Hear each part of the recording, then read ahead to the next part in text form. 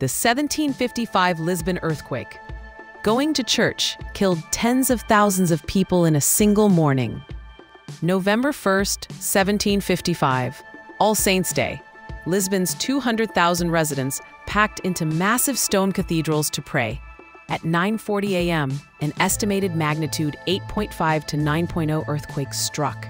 Those beautiful churches, they became tombs. But it didn't stop there. Survivors fled to the waterfront. Then a massive tsunami hit with waves up to 6 meters high. Those thousands of candles lit for the holy day, they sparked a firestorm that burned for 5 days. Here's what most people miss. Philosopher Rousseau argued this wasn't a natural disaster. Nature didn't build 20,000 six story buildings in a seismic zone. Humans did. Estimates suggest 30,000 to 60,000 died in Lisbon, though scholars still debate the exact toll.